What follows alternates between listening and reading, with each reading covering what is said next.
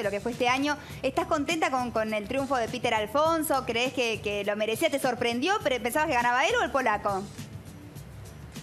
Eh, no, creí que ganaba el polaco, porque era lo nuevo y después, eh, pero también Pedro tanto tiempo, estaba ya el día final, cuando estuvieron también los dos que estaban con el ángel subido, ambos, dije, ay, acá, no sé, me parece que va a ir por eh, Pedro también, que tanto esfuerzo y tanta voluntad, y tenían muchos seguidores en redes sociales, eh, los dos como 6 millones. ¿Cómo haces con eso también? Si bien no todos votan, pero tenían ese, ese plafón que los beneficiaba Pero mucho. se lo también. veía muy Y caído. Estuvieron muy bien.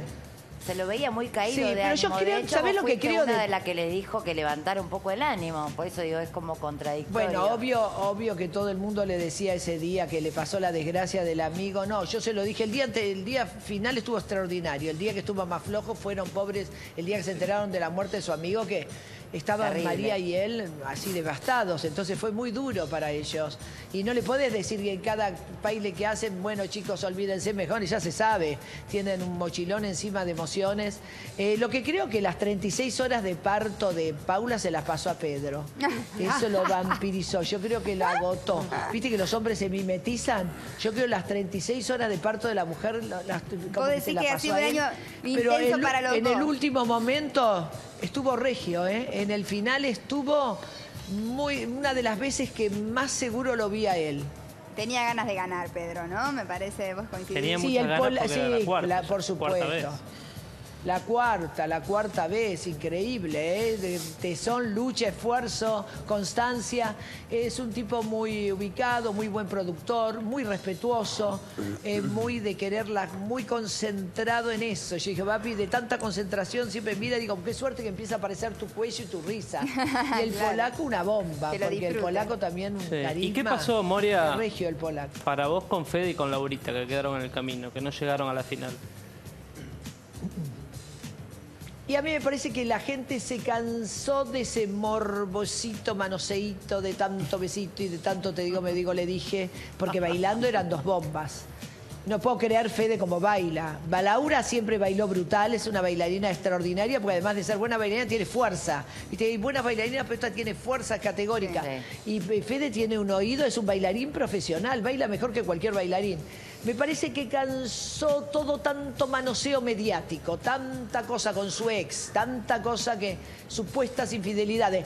La primera, chicos, en, en este es el show, hace dos años, yo en un final le dije, sentada en el sillón, le dije a Listor, Laurita, antes de fin de año tenés un romance con Fede Val, y me dice, no, porque él empezaba a andar recién con la chica Barbie Vélez.